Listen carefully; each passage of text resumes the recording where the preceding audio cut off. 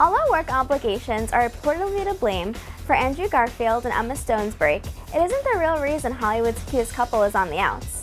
A source recently told OK Magazine that while filming Silence in Taiwan, Andrew reportedly cheated on his girlfriend of three years. She was horrified, the source said. Emma noticed that Andrew seemed distant, and she basically called him out on his behavior and demanded to know what exactly was going on. Blaming his distance on stress at first, the amazing Spider-Man actor eventually caved in and told his girlfriend the truth. He felt truly terrible about it, the source said.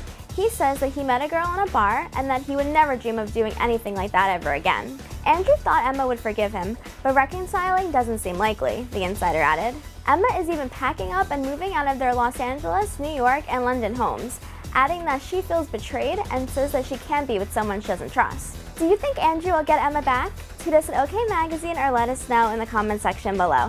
I'm Teresa Roca, and for the most up-to-date celebrity and entertainment news, check out okmagazine.com.